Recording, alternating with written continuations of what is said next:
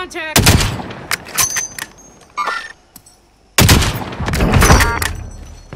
I know you shot that. We're in the safe zone.